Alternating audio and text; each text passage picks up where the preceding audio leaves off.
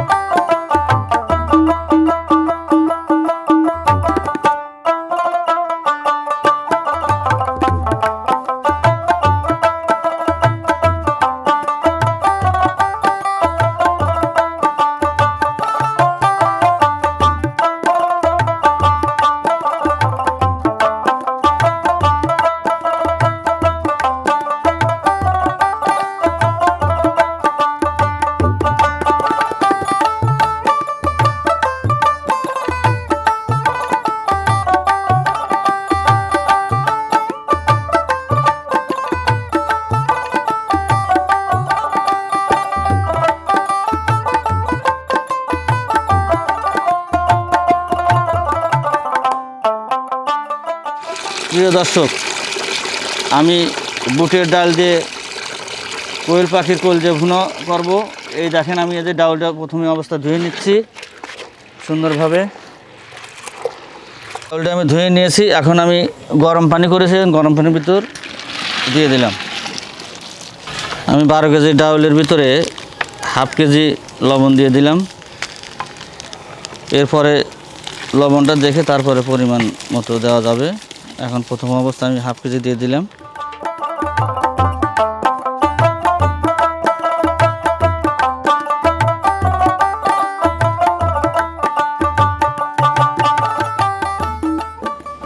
পরিমাণ মতো পিএস পরিমাণ মতো আমি কাঁচামরিচ বাটা দিয়ে দিলাম। পরিমাণ মতো তেজপাতা। পরিমাণ মতো সাদা এলাচ। পরিমাণ মতো কালো এলাচ, পরিমাণ মতো দারচিনি।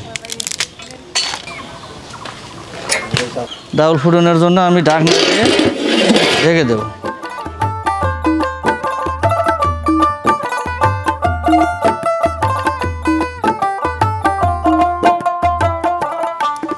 দর্শক, আমার ডাল ফুটানো হয়ে গেছে, এখন আমি নামা দিচ্ছি।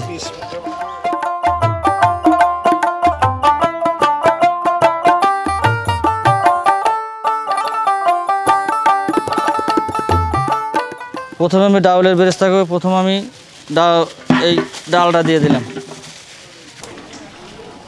পরিমাণ মতো তেল দিয়ে দিলাম।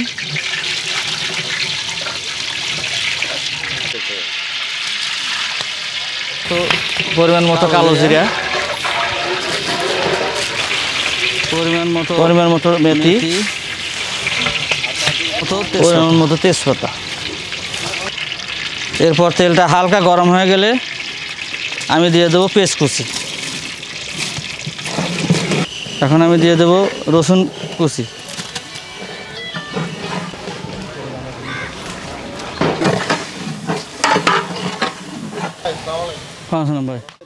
আমার বেশ বাজা হয়ে গেছে, এখন আমি এটা নামাজ কাট করে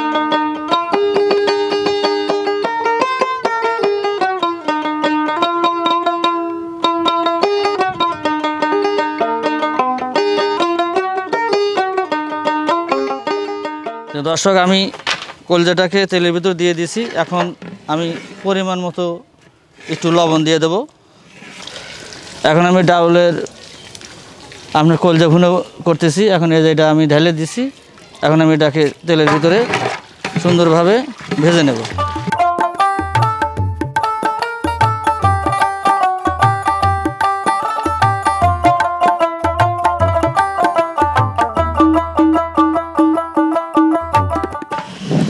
আমার ভুনানো হয়ে গেছে তেল গোস্ত, এবার আমি পানি ঢেলে দিলাম, গরম পানি। দর্শক, পরিমাণ মতো আমি ডাউল রান্না করার জন্য পরিমাণ মতো আমি রসুন দিয়ে দিলাম। পরিমাণ মতো আদা বাটা দিয়ে দিলাম। এরপর দিয়ে দেবো আমি পরিমাণ মতো হলুদের গুঁড়া। এরপর আমি দিয়ে দিলাম ধনিয়ার গুঁড়া পরিমাণ মতো। শুকনো মরিচের গুঁড়া পরিমাণ মতো দিয়ে দিলাম। এরপর আমি দিয়ে দেব পরিমাণ মতো জিরার গুঁড়ো। আমি এটাকে সুন্দরভাবে আমি আগে কষা নেব।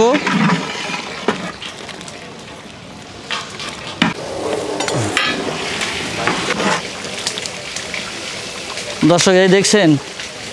ডাউলের ভিতর ভুনো করতেছি, এটা হয়ে গেছে, এখন আমি ডাউল দিয়ে দেব।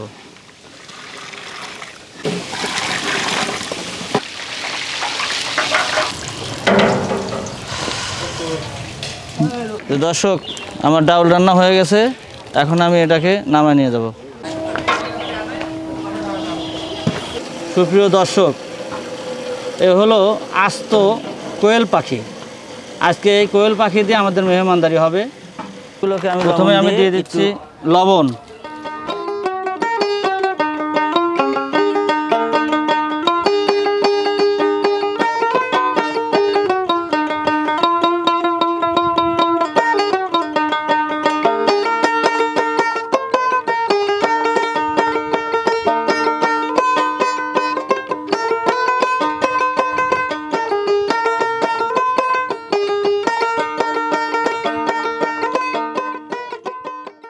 এখন আমি কোয়েল পাখি ভেজে নেব। প্রথমে কড়াইতে আমি তেল ঢেলে দিলাম।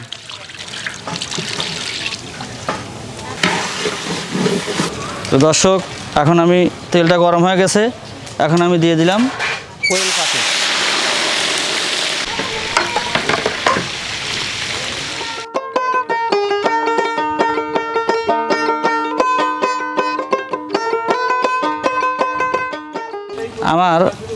আস্ত কোয়েল পাখি ভাজা শেষ হয়ে গেছে। এখন আমি এর ভিতরে আমি পেস্টটা ভুনে নেব। পরিমাণ মতো আমি পেস্টটা দিয়ে দিলাম। এরপর আমি দিয়ে দিলাম কালো এলাচ পরিমাণ মতো। তারপর আমি দিয়ে দিলাম সাদা এলাচ পরিমাণ মতো। এরপর আমি দিয়ে দেব দারচিনি পরিমাণ মতো। এরপর দিয়ে দিলাম আমি পরিমাণ মতো তেজপাতা। সুন্দরভাবে পেস্টটা হালকা গোলাপি কালার করব।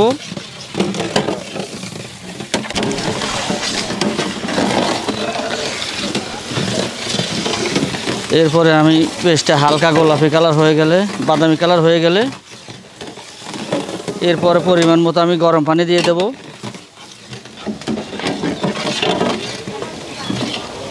আমার পেঁয়াজ হালকা বাদামি কালার এসে গেছে, এখন আমি গরম পানি দিয়ে দেবো।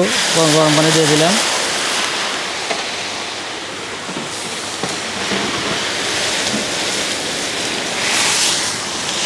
এখন আমি দিয়ে দেবো পরিমাণ মতো লবণ।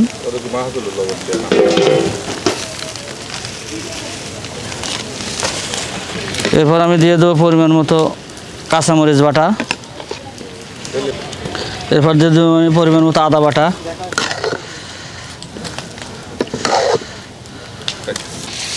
এরপর আমি দিয়ে দিলাম রসুন বাটা পরিমাণ মতো। এরপর আমি দেব বাদাম বাটা। আপনারা বাদাম বাটা নাও দিতে পারেন। দিয়ে দিলাম পরিমাণ মতো বাদাম বাটা। এরপর আমি দেবো পরিমাণ মতো ধনিয়ার গুঁড়ো। তারপর দিয়ে দেবো হলুদের গুঁড়ো পরিমাণ মতো। এরপর আমি দিয়ে দেব শুকনো মরিচের গুঁড়ো পরিমাণ মতো। এরপর দিয়ে দেব আমি জিরার গুঁড়ো পরিমাণ মতো।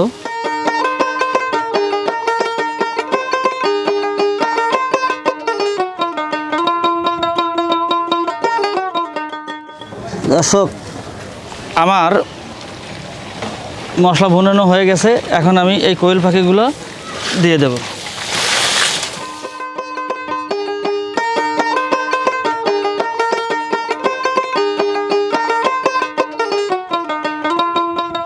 এখন আমার রান্না হয়ে গেছে, এখন আমি নামা নেব।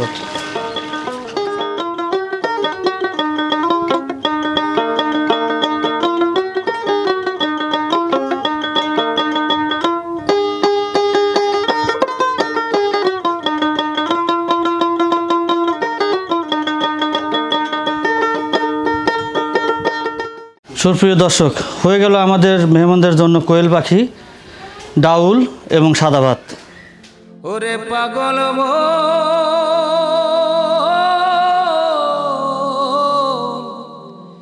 এ দুনিয়ায় চিরদিন